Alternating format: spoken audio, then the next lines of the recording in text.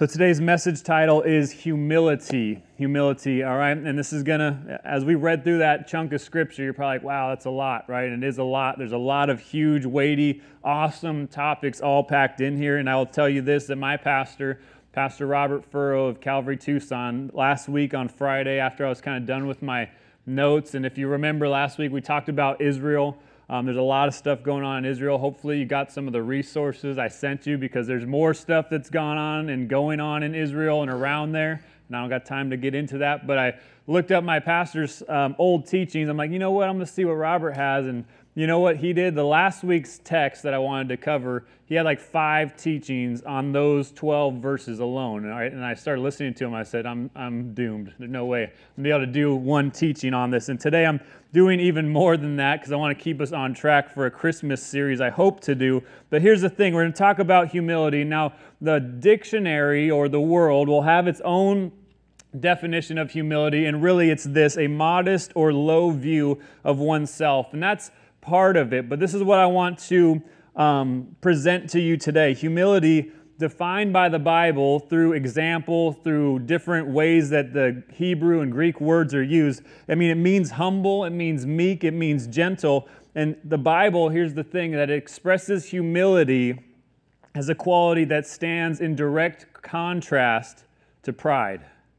So if you want to understand humility, you need to understand pride. If you want to understand pride, you need to understand humility because you see and you understand the effect if you actually see and understand both. They're polar opposites.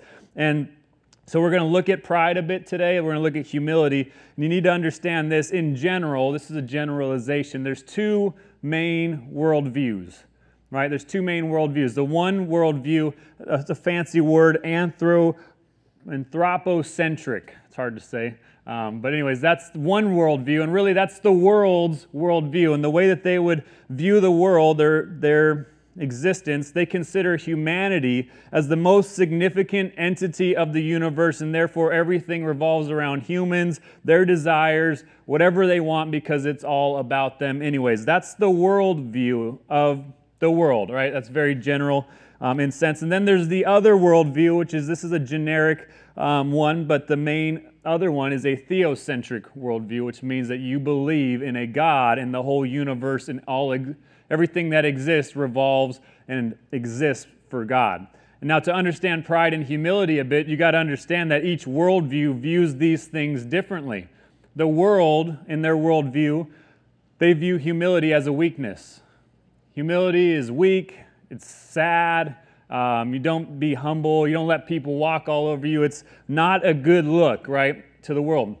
In the world, though, they view pride as a strength.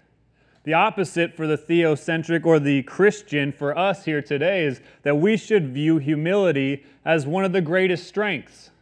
And pride is one of the greatest weaknesses, if not the greatest of them all right? And so there's so much that revolves around pride in the world. And if you just think about it for a minute, it totally makes sense, right? You're like, well, you know what? What do you mean? Well, here's some examples, right? It's like the world is so prideful about everything, and they're almost prideful about their pridefulness. If you're not like prideful about what you're prideful about, like you're not about it. A couple examples Pride for America. I know some of you are like, whoa, Nick, easy there. Um, but it's like Pride for America. We're going all overboard so that everybody knows.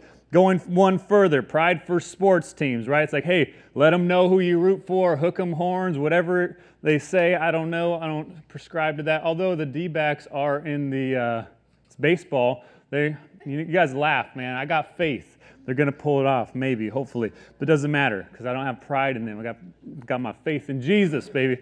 Some other examples, though pride for sexuality. Just go watch the news. Go to downtown Austin and see if you don't see pride for sexuality, your sexual preference, and whatever you want all over the place. Your pride, there's this is another one, politically charged one. Pride for your choice to abort a baby or not, right? They're so proud about that. There's pride for literally anything and everything you want, except being a Christian.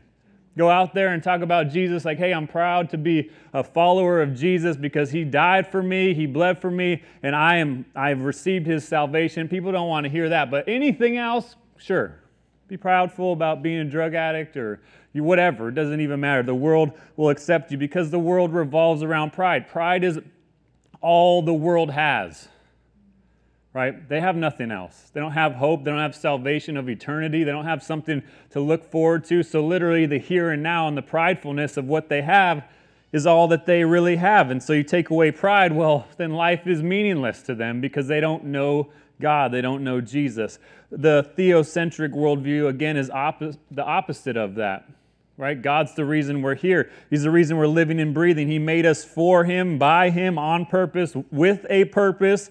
And a news flash here is that God has made us to love Him and to love others, as we've described a couple weeks ago when Paul was telling us, like, hey, man, you got to have loyalty to Jesus and you got to have unity with one another, have the same mind, have the same spirit, serve the one faith. There's not multiple faiths, there's one God, one spirit, one faith. And man, you got to be united there. And so God has made us to love Him first and foremost and to love others. And to do that, we got to have humility. It's not a question, it's not on the table or up for discussion. Or, you know what, Nick, I don't really want to have a humble spirit. And I just got to say this that if that's you, if that's your thought, if, if you go that route, it's a very dangerous route, right? The Bible has much to say about the prideful. Right, some of you think, well, it's not a big deal. I'm proud, um, and not a big deal, Nick. It's not as hardcore as you, you think. But I would say you're wrong in that, right? See, the Bible's full of different examples by way of destruction that comes from pride, right? There's destruction because pride is sinful. Here's, if you want to jot down notes, there's going to be a lot of stuff we're going to hit today and that you might want to write down or look up later. Um, but here is something you need to know pride is the root of all sin. Pride is the root of all sin. Doesn't matter what it is. Tell me a sin, and I'll be, and we can say it. It results from pride, right? Drunkenness. It's like I'm going to do what I want to do. That's pride. Don't tell me I can't drink. That's pride right? It's like, okay, obviously sexual immorality, adultery, things of that. That's pride because you're going to do whatever you want to do, regardless of what happens to the other person. If you're married, your spouse, right? Talk about greed. That's pride because I'm going to do what I want to do to make myself better, right? Anything and everything, sin wise, revolves around pride, and the root of it all is pride. Pride is the number one contributor to every sin. Even self pity is pride.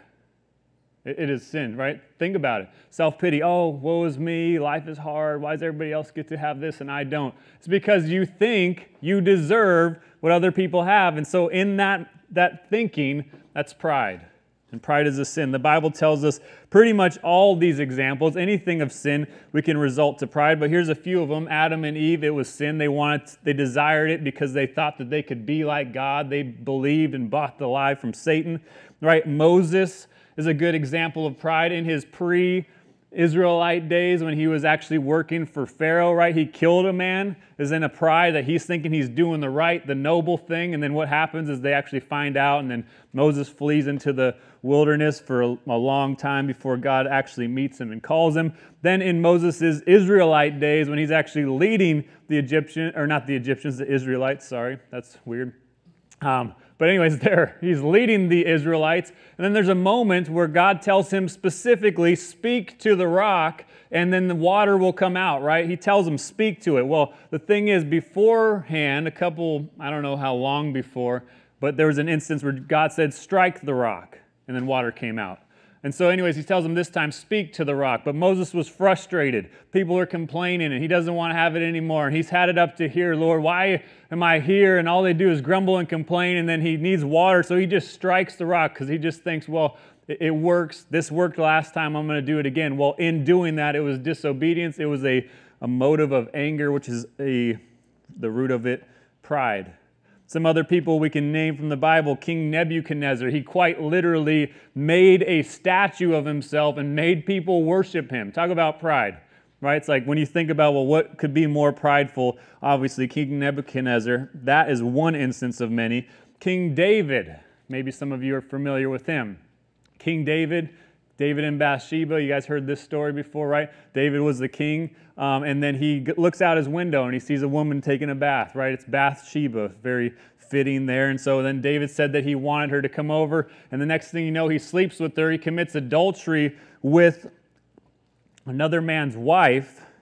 Pride, taking what's not yours, thinking that, well, I'm the king, I can do whatever I want. That's kind of his thinking. But to add to it, he, King David calls Uriah back because Bathsheba became pregnant. If you know the story, right? It's like, oh, whoops, my sin didn't go as planned. All of a sudden, now there's this um, this baby in the picture. So David brings Uriah in it. He thinks in his pride he can cover his sin, right? It's like, let's get the husband back over. We're going to get him some wine. He's going to get a little drunk. He's going to feel good. And we're going to send him home to his wife to make love with her. And then it will look like it's her or his baby. How sinful and messed up is that? King David, the man after God's own heart. We're all like, David was a man after God's own heart. David was messed up, and he's, he had pride right? And to make it worse, right, he brings him over. Uriah was a stand-up dude. He's like, uh, he he's like drunk, and you know, most people be like, yeah, I'll go home and see my wife. Haven't seen her in a while, and you know, we're gonna hang out, if you know what I mean. And then, um, but Uriah's like, I'm not gonna go to, home to my wife. Like my my fellow soldiers are at war, at battle. And so he ends up sleeping like on the steps outside, right? Because Uriah was so stand up of a dude. Well, David, in his pride, to make it even worse, he sends him back to battle. David says, Hey, all, everyone back up from the front line, leave Uriah out in front. And really, what he was doing was say, saying, Let him be killed. So Uriah not only took another man, or David not only took another man's wife, he took another man's life in his pride. And then this, to make it even worse, right? David trying to be the hero. Nobody knows that he slept with her yet, right? Uh, and he, he sees this poor, innocent, pregnant widow and brings her in, right? Trying to make himself look like the good guy. I'll take care of you. Anyways, talk about pride. It's pride. It's an example of pride. Other examples of pride the Pharisees in the New Testament in Jesus' day, they were religious leaders. They're the people who thought they're more holy, more righteous than any. Peter, one of the disciples, right, in his pridefulness, he said, Jesus, even if everybody leaves you, I will never deny you. We ride together, die together, Jesus. No one's coming between us. Well, not long later, Peter's seen actually denying Jesus, not once, not twice, but three times. And meanwhile, Jesus is being beaten, whipped, and sent to the cross. Talk about pride. He thought that he wouldn't fall, he wouldn't betray Jesus, but he does, right? And the greatest of them all, I guess, example wise, is the pride of Satan, the devil himself. He's the number one contributor to pride. He was the first one to have that pride. And it says in the Bible, in the Old Testament, that he wanted to make himself like the Most High. That was Satan's job, right? God made him beautiful, amazing. He was wise, powerful, maybe even one of the most powerful beings of all other than God himself. And it says that in his pride, that he traded his wisdom to try and gain something that wasn't his.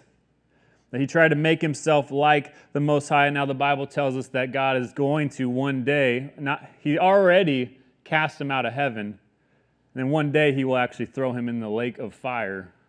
And it's going to be over with. Pride is all over the Bible because pride is at the root of every sin. It's all over our lives as well. But the, some more examples of pride. I'm going to blast through these scriptures here. But if you're like, okay, those are some examples, they don't necessarily say the word pride. David, in his pride, got Bathsheba. But here's some ones that you cannot dispute with at all. Proverbs 11:2 says, When pride comes, then comes disgrace. But with the humble is wisdom. Proverbs 16:5 says, Everyone who is arrogant or prideful, we could say, in heart is an abomination to the Lord. Be assured he will not go unpunished. Proverbs 16, 18. Pride goes before destruction, and a haughty spirit or an arrogant spirit before a fall. Proverbs 18, 12. Before destruction, a man's heart is haughty or arrogant or prideful, but humility comes before honor. James 4, 6. But he gives more grace. It says, Therefore, he says, God opposes the proud I want you to write that down. If you have take notes, God opposes the proud. You got to know that today when we're talking about humility and we're talking about pride. God appro- opposes the proud but gives grace to the humble. James 4:10 says, "Humble yourselves before the Lord and he will exalt you." Peter says a very similar thing, the same thing actually, quoting the same scripture that James quotes, God opposes the proud but gives grace to the humble in 1 Peter 5. And so I hope that you're understanding and catching the whole point here is pride is destructive, deceitful, it's poisonous. And you got to know this about pride because it's so sneaky because pride feels good. And that's the biggest thing that sucks about it. And humility hurts.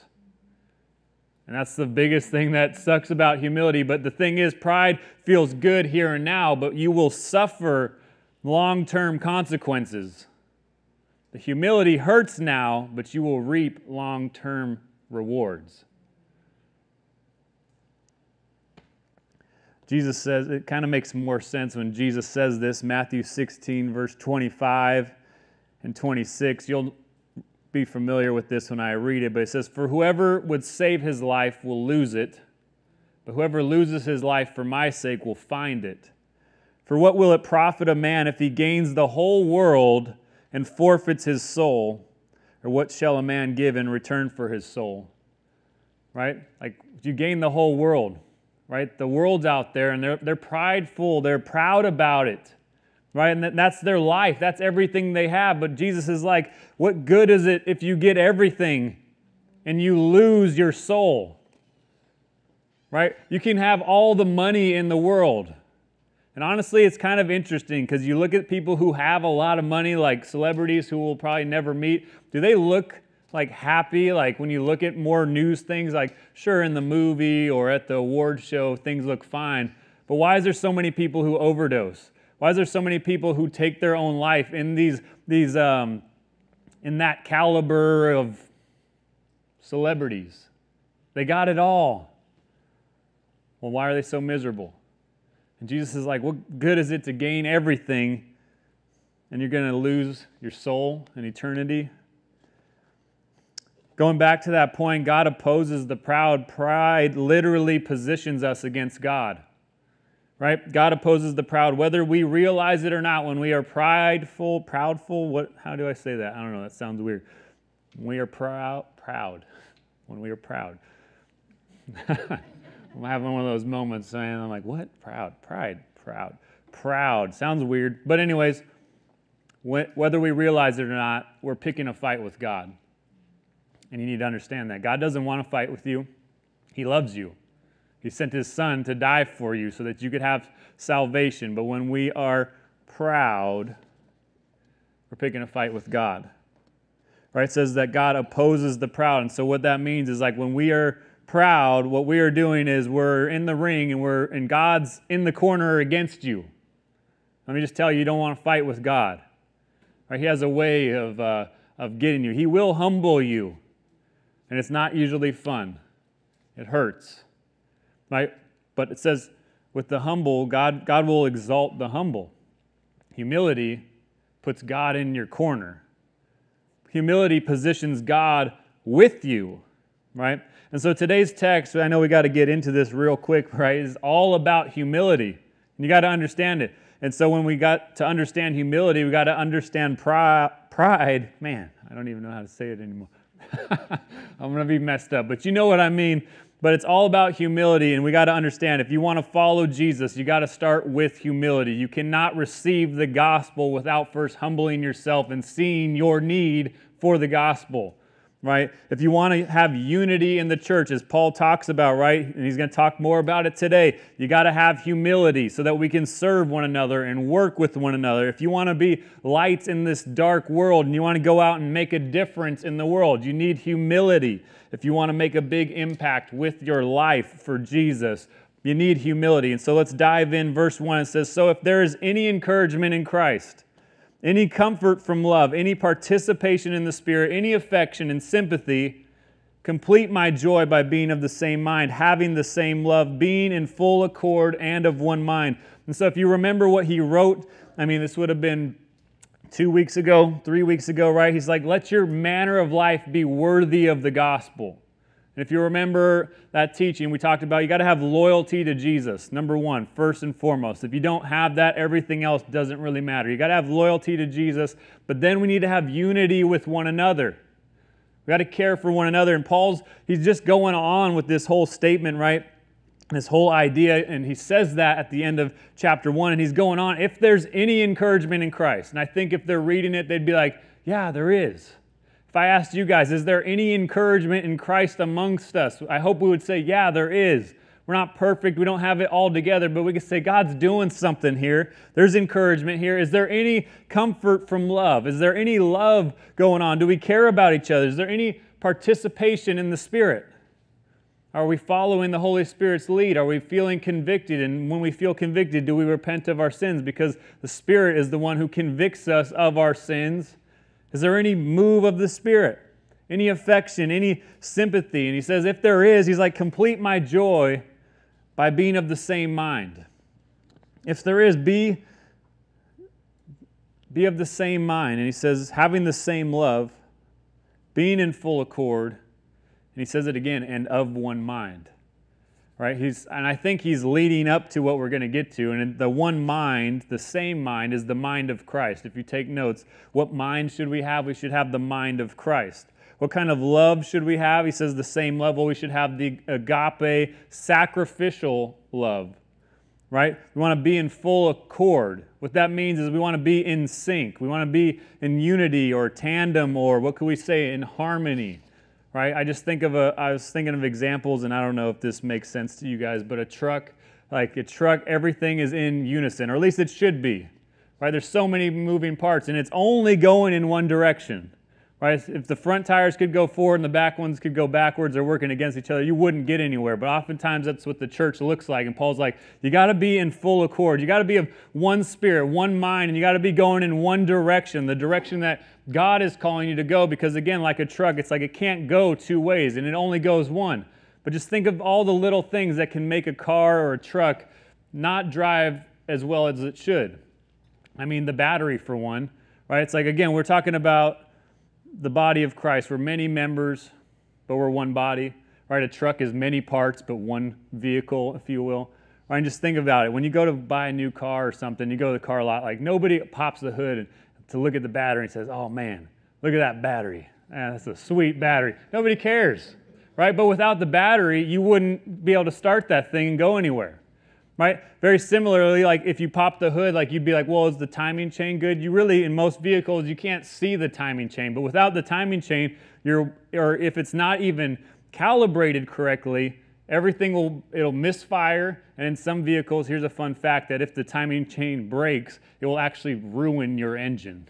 Just a, a fun fact because what happens is then all of a sudden these valves aren't on the timing they should be and then they get bent and all this stuff and um, but something so small can ha- be so catastrophic and it has to work perfectly. Tires right? Think of the tires on a car or a truck. They got to be inflated properly. They got to be properly balanced properly aligned because if they're not what happens? Well it's a bumpy ride. You might be able to get somewhere but it's like man why is this thing doing this the whole time down the, the toll road right?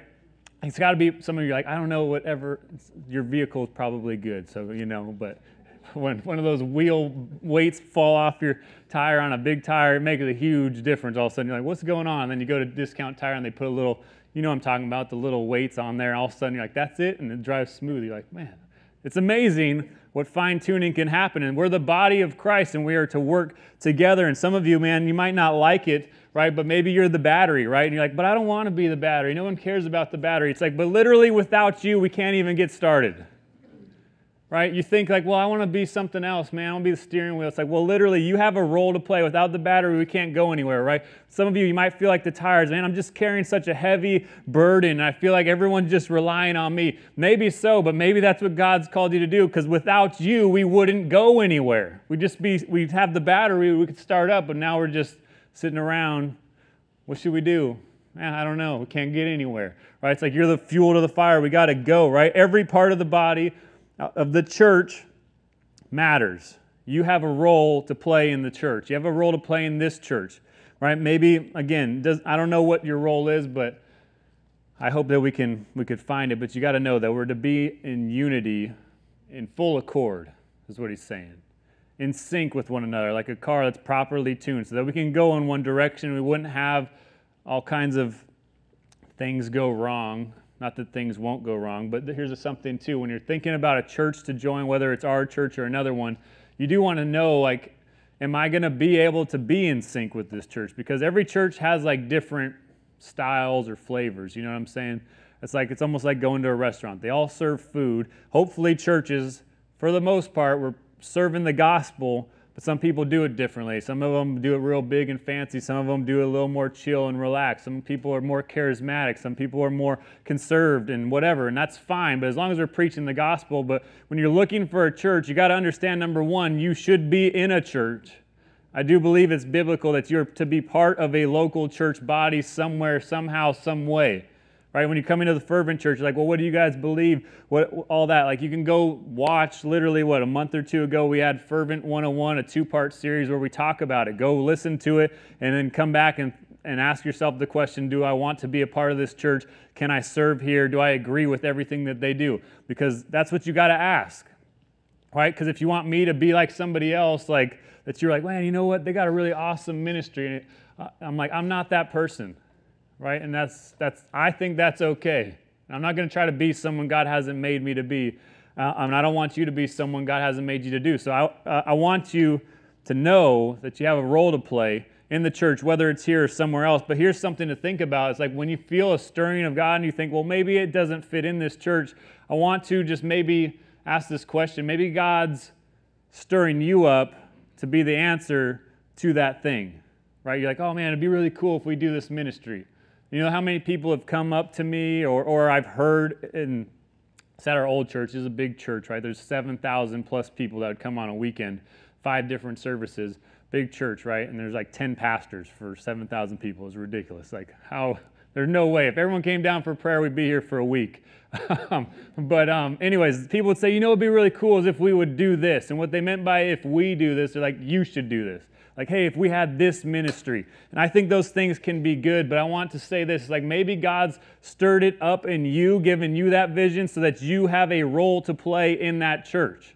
You know what i'm saying? It's like maybe we can't currently do it because we don't have the people but you have this vision and maybe you're the person that we've been waiting for so that we can start it. You know what i'm saying Maybe you're the answer to that prayer to make it happen. But, anyways, moving on, he says, verse 3 says, Do nothing from selfish ambition, or do no thing, nothing at all from selfish ambition or conceit, but in humility count others more significant than yourselves. Let each of you look not only to his own interest, but also to the interest of others. Humility, it's essential. We need it. He says, Do nothing, no things. I mean, that's literally like, well, what about this? No. Right? But what about, no, nothing. No things out of selfish ambition. And you know what selfish ambition is it's just selfishness, right? It's pride manifested in just like, I just care about myself and all I'm trying to do is build my wealth, my life, my way, whatever. He says, do nothing from selfish ambition. That's the world. Right? The world, and that's what makes it hard as a Christian, because we look at the world and we're like, but they're doing it. And Paul's like, don't, don't do it. Right? I think it's even a little bit of him referring back to what he said in Philippians 1:17, where he says that the former they actually preach Christ out of selfish ambition, seeking to afflict me in my chains. Right? I think he's referring back to that a bit. He's like, that's them. That's not you. That's not for us. Doing things out of selfish ambition, that's not what we're called to do. Do no things, nothing from selfish ambition. And he says, even, and um, or conceit. The word conceit means vainglory. I think it's a great word study, man, and I was, um, it's good, but I don't have time to get super deep into it. But I'll say this that it's vainglory. And it reminds me of one specific book in the Bible. Maybe it reminds you of one, but it's the book of Ecclesiastes.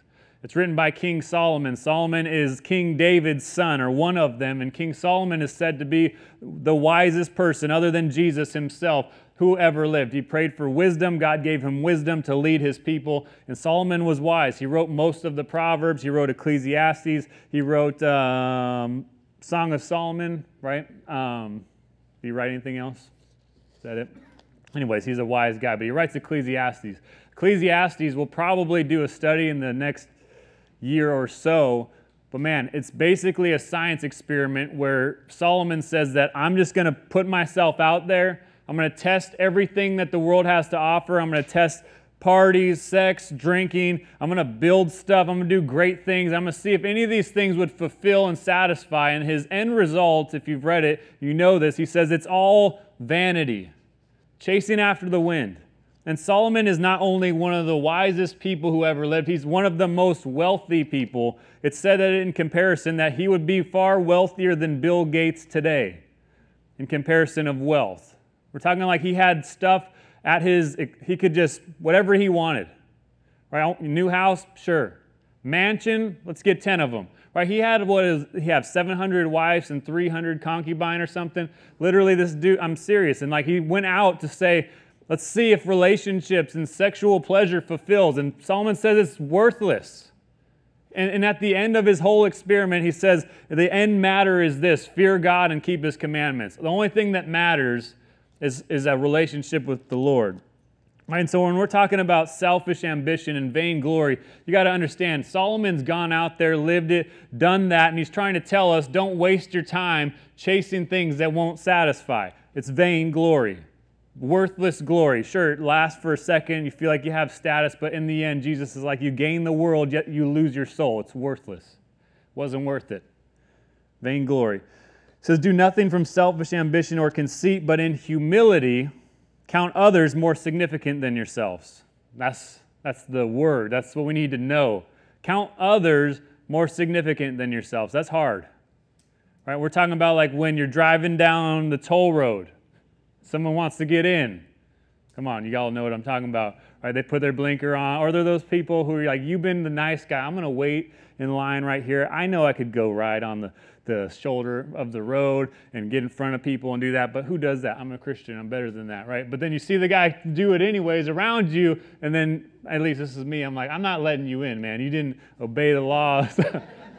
like, literally, you're cheating, man. You could have gotten in line with everybody else right? But literally, part of it's like count others, um, or in humility, count others more significant than yourselves. And so there's times when I'm driving and that stuff makes me upset. This is just a small example. And I'm like, you know what? I don't want to let you in, but I'm going to let you in anyways because I'm going to consider you more significant than me, but you're a little more impatient than me too. So whatever. Maybe you got somewhere to go. Um, you know what I mean? Who knows what's going on in someone's life? Um, but, anyways, that's an example. But counting others more significant than yourselves, he says, verse 4 let each of you not look only to his own interests, but also to the interest of others. So, you got to understand humility.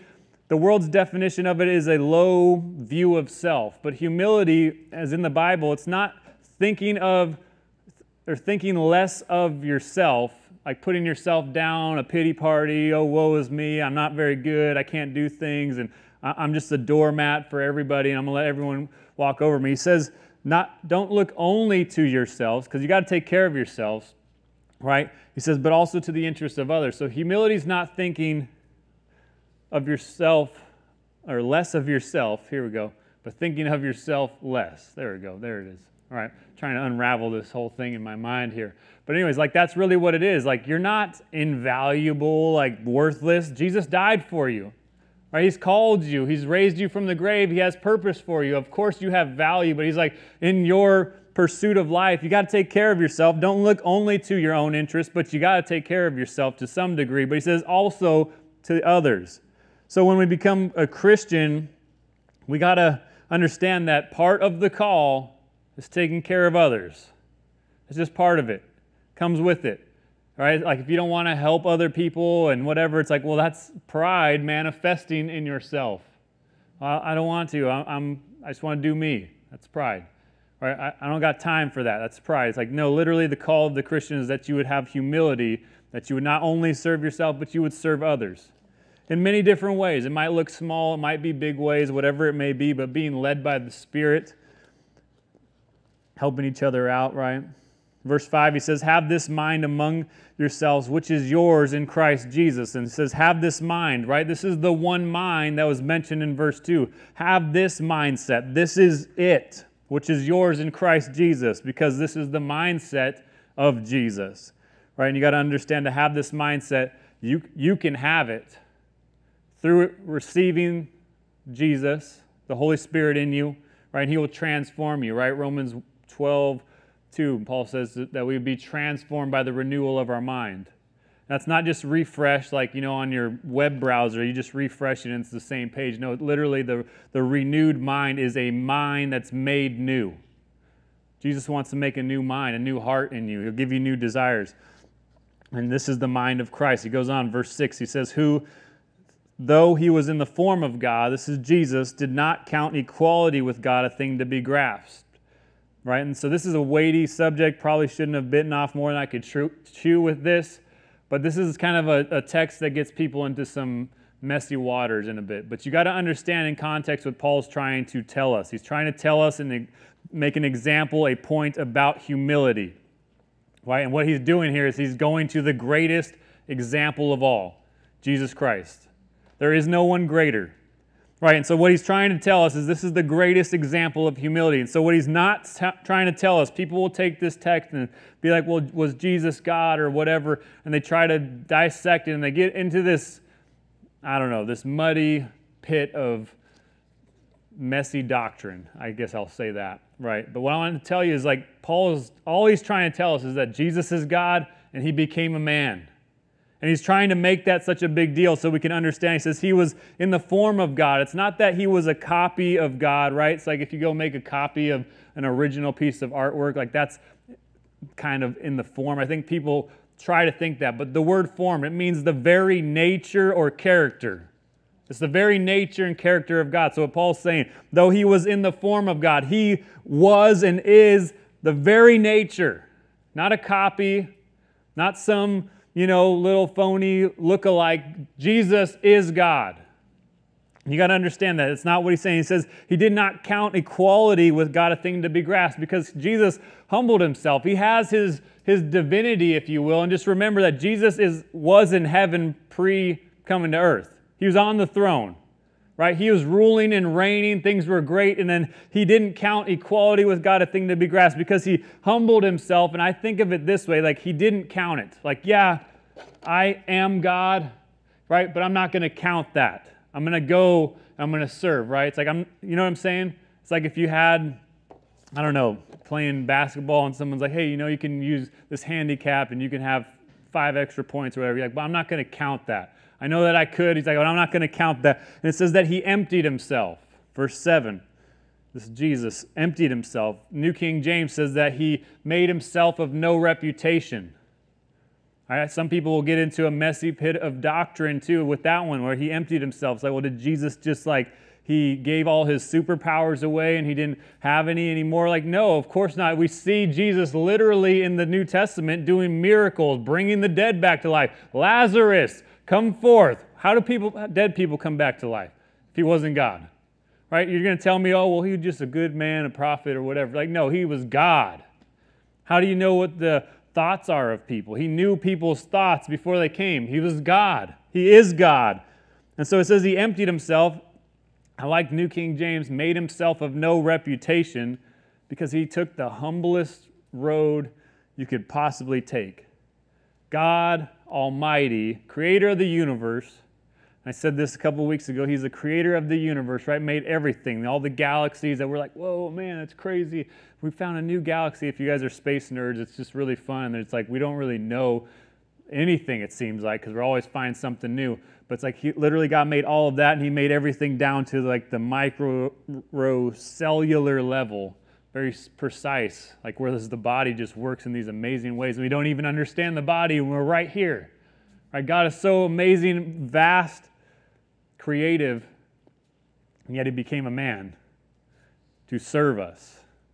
The most humble road you can possibly take, taking the form of a servant, being born in the likeness of men. He says, um, verse 8, and being found in human form, he humbled himself by becoming obedient to the point of death, even death on a cross. So he humbled himself, God, became a man, he made himself of no reputation, and if you just know the story of Jesus, like Jesus, God became a man, John 1:14, the word became flesh and dwelt among us, but literally Jesus, God in the flesh was born in a barn, like in a manger. In a place that you shouldn't be like born in. Like that's not a place to have kids. Maybe like the horses and cows can have kids in the barn, but not a human being. That's where Jesus was born in a barn in, in Bethlehem, right? It's Not long later, they had to flee to Egypt because King Herod wanted to kill all the baby boys in around that place. And so they flee, right? And then in the midst of this, right, right before or during Jesus' birth, you know, Mary and Joseph, they had an interesting relationship right? Because they weren't quite married yet. And then all of a sudden, Joseph's like, wait a second, is, are you pregnant right now? Because that wasn't me. And uh, they were on the verge of divorce. Seriously, it said Joseph sought to quietly leave or divorce or, or whatever, part from Mary. But then an angel came and intervened and said, No, Joseph, here's the story. God is bringing his Messiah through you, the promised son that's been promised in the Old Testament. And Joseph's like, Okay, sure. Oh, you know what I mean? Like, who am I to argue?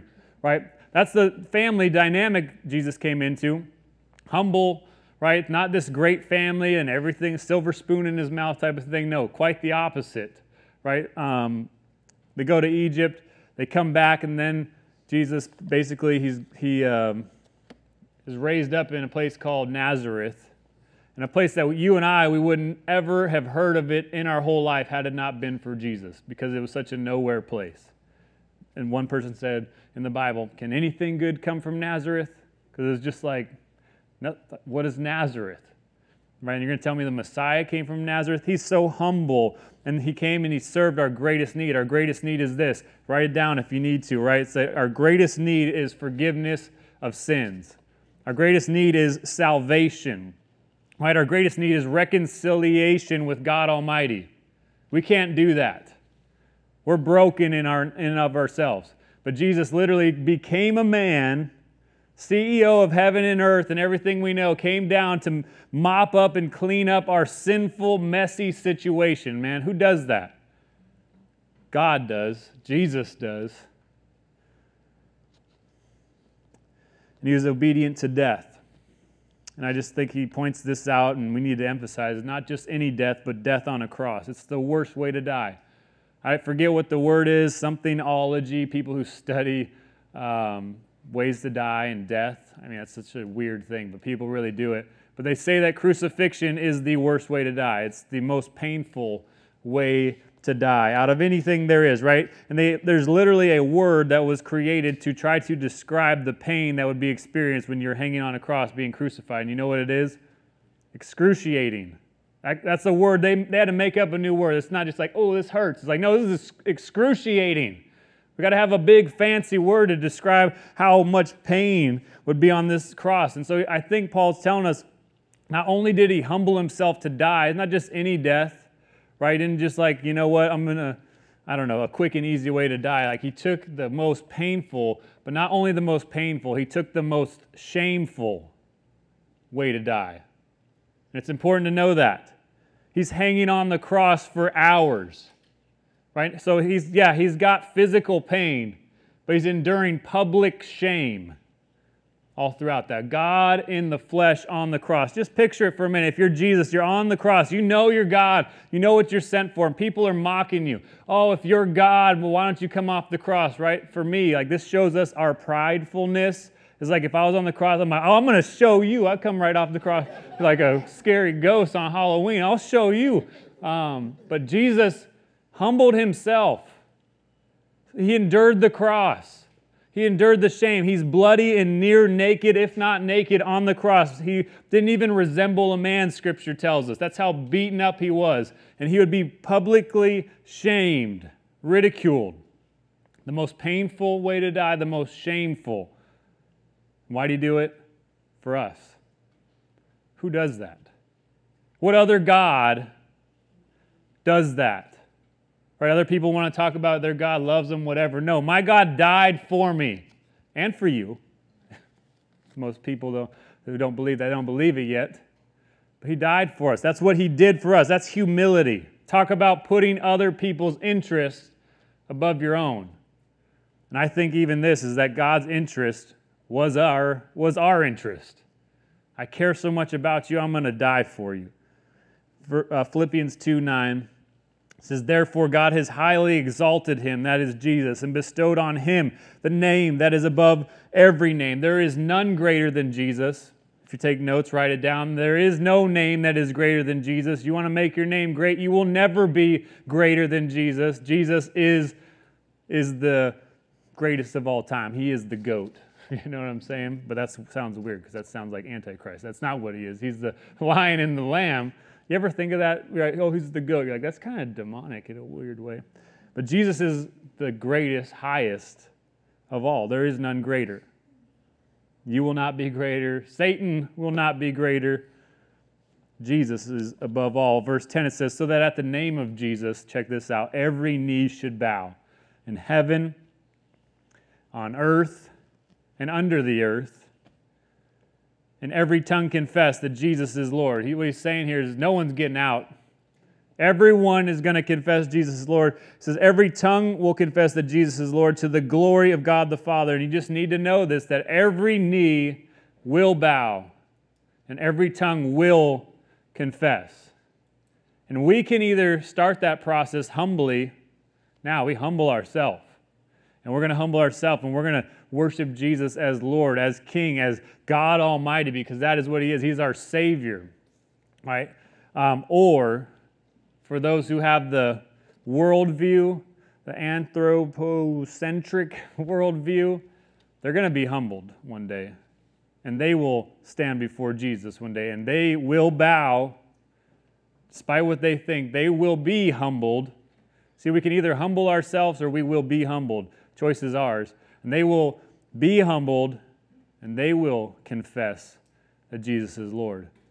And I think of that day, man, there's either, it's going to be the most exciting day when for us who believe, and we're like, that's my God, that's my King. He died for me, He did everything for me. Everything revolves around Him, everything is for Him. I can't wait to worship you, Lord, with just face to the ground. I don't know what's going to happen in heaven, God. It's going to be amazing, but then it's going to be the most terrifying day for someone who never knew Jesus, and all of a sudden they're like, You're real? I didn't know.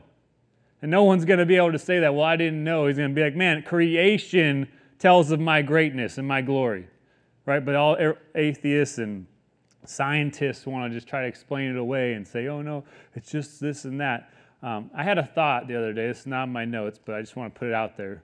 Um, you know how people are like, oh, we evolved from apes or we evolved from whatever.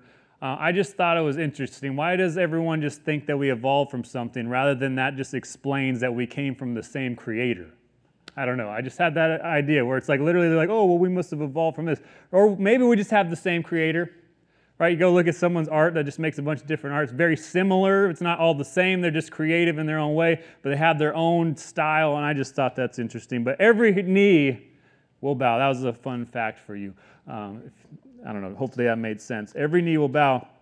Some, it'll be the most exciting day, some the most terrifying, but it will happen, as we talked about last week, with things heating up in Israel and just in the world in general. Maybe it's going to happen soon. Maybe it won't happen for a long time, but there is no better day than today to know Jesus because we just, you never know. Don't put it off. Know Jesus today. Humble yourself, welcome him in, serve him, worship him as king because he is you're going to do it one day. You might as well start now. Um, but verse 12, let's keep moving here. Um, Therefore, my beloved, as you have always obeyed, so now, not only as in my presence, but much more in my absence, work out your own salvation with fear and trembling. He's saying, if you, um, if I'm here with you or I'm gone, obey. Doesn't matter, right? We kind of talked about that um, in chapter two when he says that if I'm if I come to see you or I'm absent, live in a manner worthy of the gospel. He's repeating himself a bit, but he's like, if we're truly followers of Jesus, we should be pursuing Jesus, and no matter who is with us or who isn't with us. Some people are really good at pursuing Jesus and playing Christian, right, when all the Christian people are around them right? But what about when you're out in the world and you're with a whole bunch of people who don't believe in Jesus, right? It shouldn't matter who is or isn't with you. You should be pursuing Jesus. And Paul's like, just obey Jesus no matter what, right? And I, and I want to say the same thing to us today. No matter what, if you're here at church on Sunday or tomorrow, Monday, and the day is really bad and you're around a bunch of people at your work who hate Jesus, pursue Jesus. Whether one of us are there or not, or your Christian buddy at work, oh man, they didn't come today, I really need you. No, you have Jesus too. You have the Holy Spirit. Pursue Jesus. He's saying, pursue Jesus. And he says, work out your own salvation. And I love this. And this is one of those another messy um, doctrinal type things, but work out your own salvation. What he's not saying is work for your salvation. He's saying work out your salvation. You've been given salvation.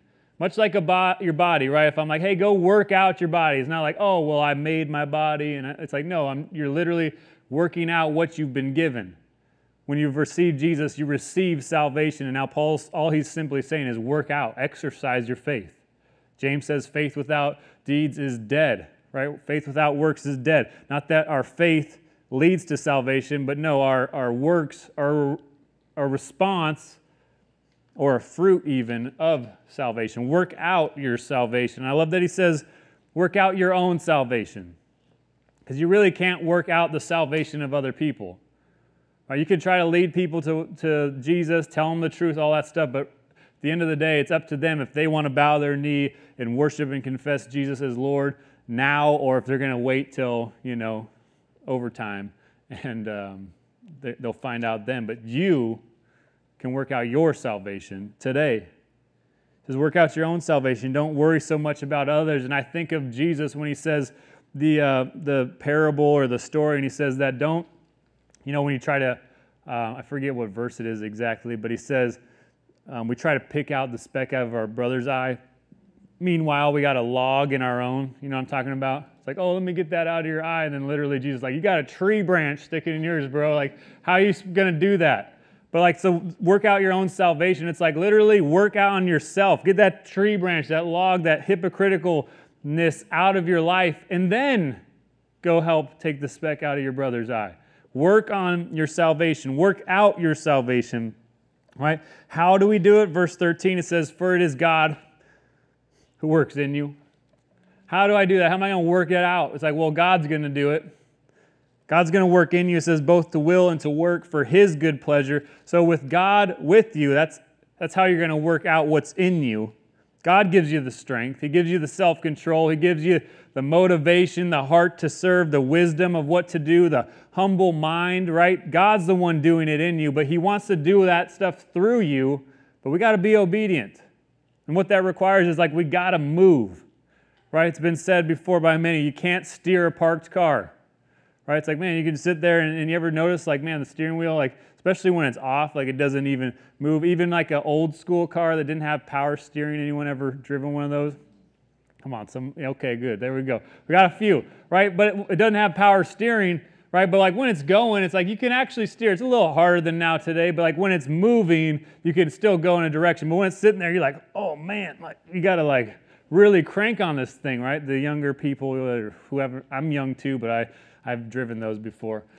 But um, you can't steer a parked car. It's like literally, we're like, let's just go, Right? God's like, just do something and I'm going to come through. Like, get moving and I'm going to direct you, right? God's word says that his word is like a lamp to our feet, a light to our path. Like, as we're moving, he's going to show us, like, oh, don't go there. You're going to trip up. Don't do that. Or go this direction. He's going to steer us, but we got to do something. And he says that he works in us to will and to work for his good pleasure.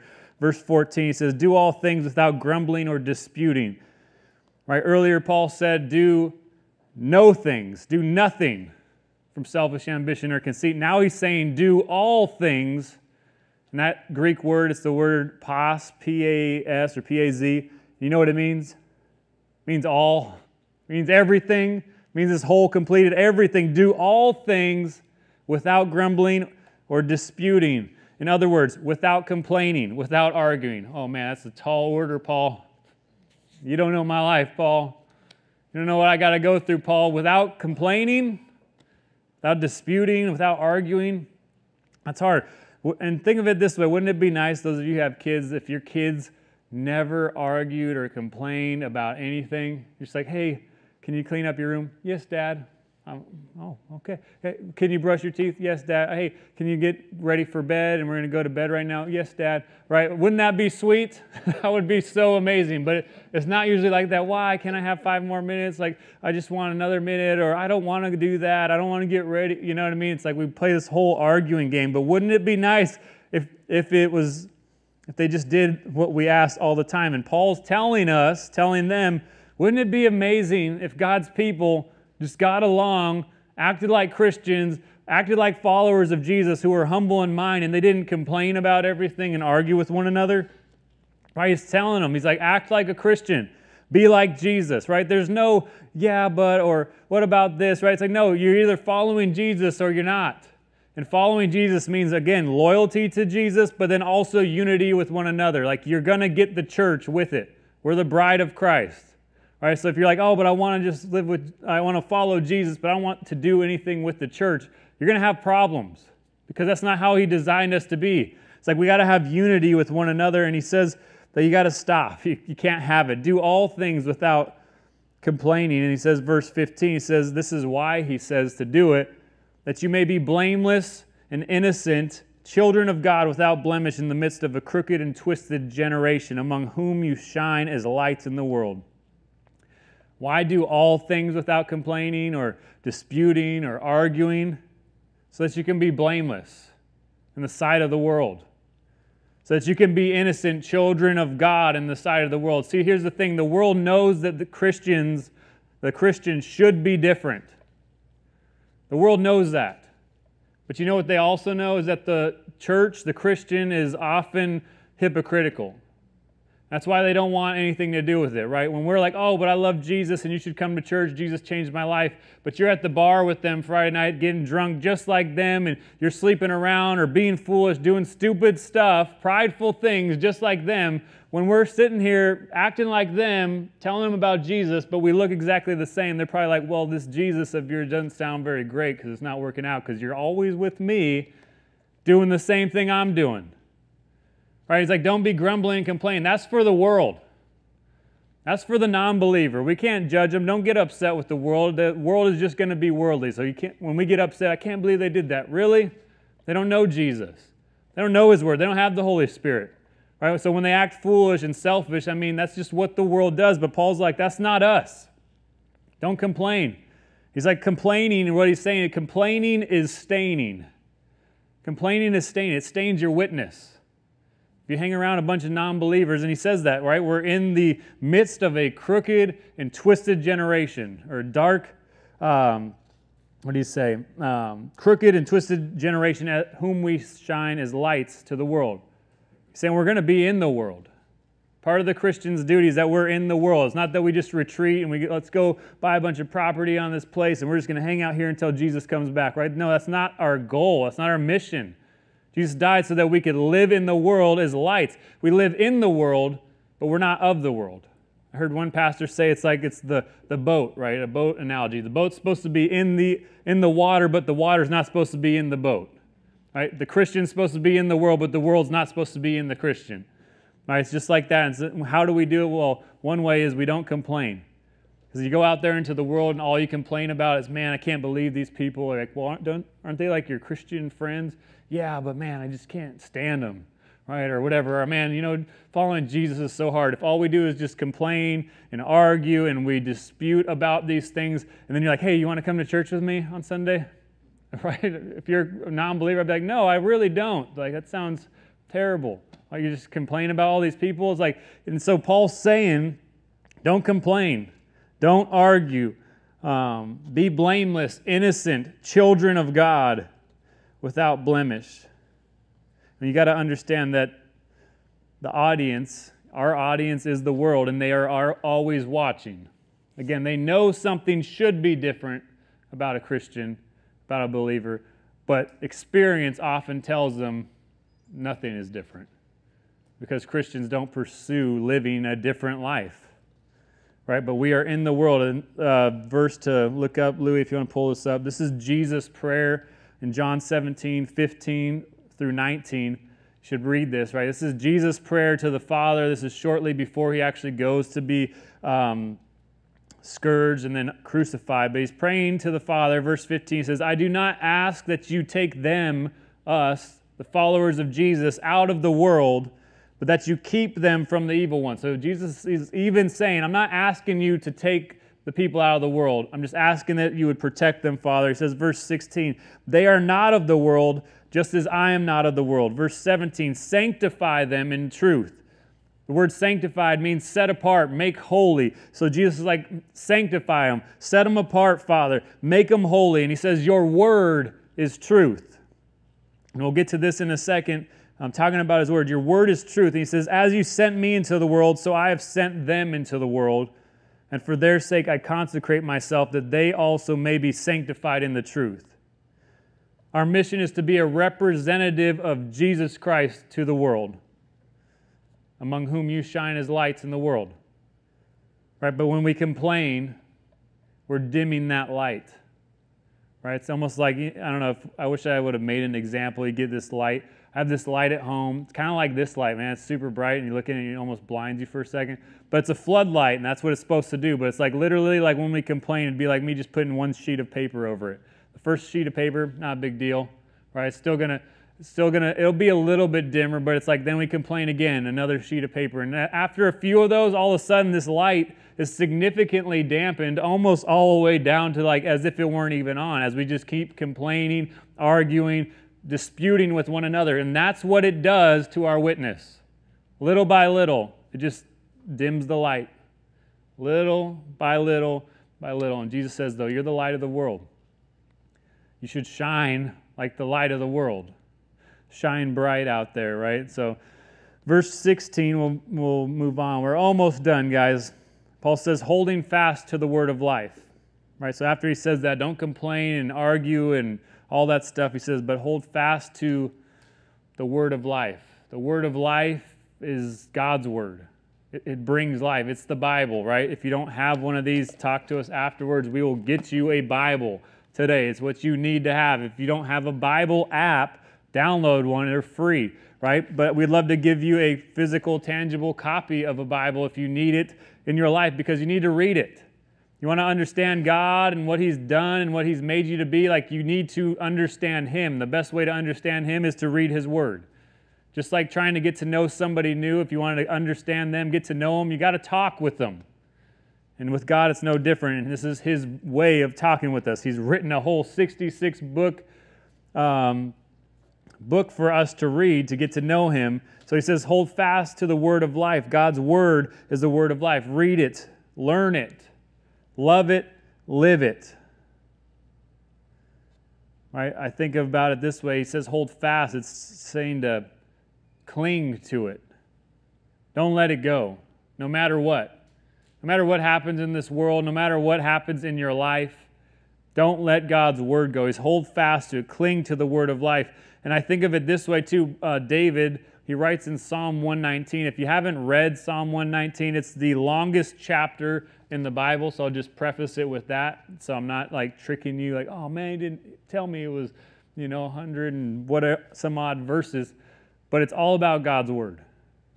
It's all about God's word. If you read it, just looking through it, he talks about your precepts, your laws, your promises, right? All throughout it. And one of the first things he says is, How can a young man keep his way pure? And he says, By guarding it according to your word to God. Right? So, and he talks about that I've hidden your word in my heart, that I might not sin against you. And so when you want to understand like God and how am I to live and what am I to do, man, you just you hide it in your heart right? He says in Psalm 119, that verse where he says, Your word is a lamp unto my feet, a light to my path. That's Psalm 119. I forget which verse exactly, but it's all about God's word and how just, I mean, amazing it is. And you need to know it. Memorize it. Psalm 1 says, Blessed is the man who meditates on the law of the Lord day and night, that he's like a, tree planted by streams of water whose, whose fruit comes in season, his leaf never withers, and all that he does, it prospers. But you're not going to see that if you don't have the Word of God. If you're not holding fast to the Word of God. Meditate on it, memorize it. I was thinking about it the other day, man. There's so many verses that I feel like I don't remember ever memorizing, but I can only like, I mean, it's the Lord for one, the Holy Spirit who brings them up. But I'm like, the only time that I might have ever memorized that or something was as a kid as a kid, I'd go to Sunday school. My aunt at one point was the uh, second grade Sunday school teacher, and she would have candy And everybody loves candy, right? So you do your memory verse, you get some candy. And so on the way to church, I got my little index card, and I'm like, For God so loved the world that he sent his only son, that whoever believes in him shall not perish but have everlasting life. John 3.16, right? And then I get to, to my aunt's class, For God so loved the world, you know, like I would memorize it but I wanted candy, but it was a good trick. And the only thing I can think of that sometimes these verses just come out of nowhere, I'm like, I don't remember, I haven't studied that in years, if not over a decade.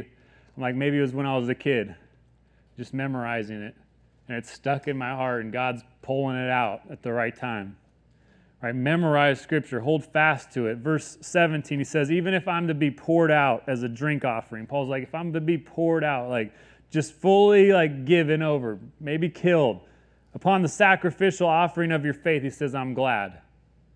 Even if this happens, I'm glad. And I rejoice with you all.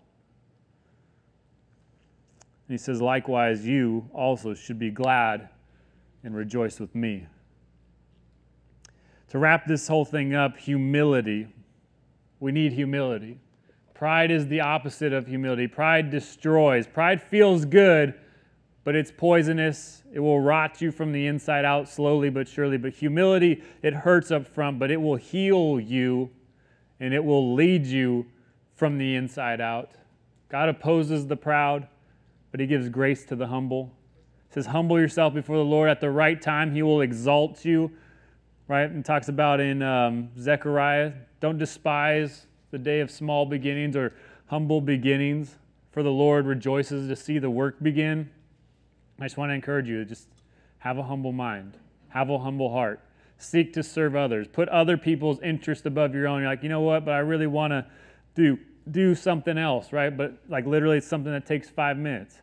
Maybe it's like holding the door, like you're in a rush, but you see someone coming, and literally, I'm just going to put your need above mine. I want to go home, but I'm going to hold the door for an extra 10 seconds so that you can come through and have a little bit easier of a day. You know what I mean? Like just little things. And of course, there's big things too, but have a humble mind, the humble mind of Jesus, who gave it all for us on the cross.